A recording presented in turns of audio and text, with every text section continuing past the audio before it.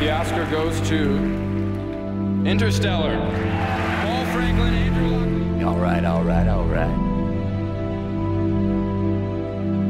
Interstellar, Richard King. Unbroken, Becky Sullivan and Andrew De Cristofaro. And the Oscar goes to American Sniper.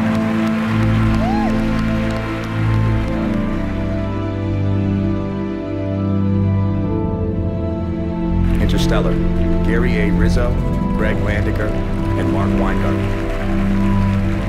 Unbroken, Jon Taylor, Frank A. Montano, and David Lee.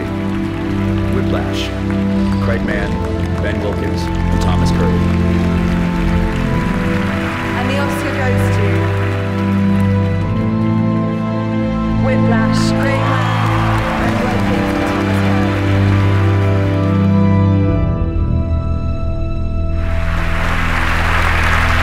And the Oscar goes to that we are still pioneers, that we've barely begun, and that our greatest accomplishments cannot be behind us, because our destiny lies above us.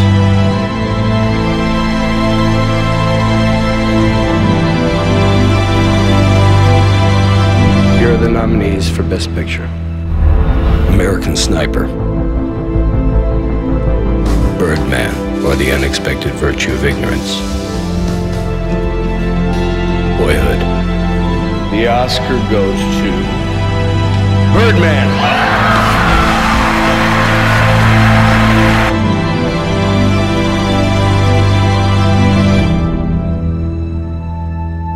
Grave men near death, who see with blinding sight. Blind eyes could blaze like meteors and be gay. Rage, rage against the dying of the light.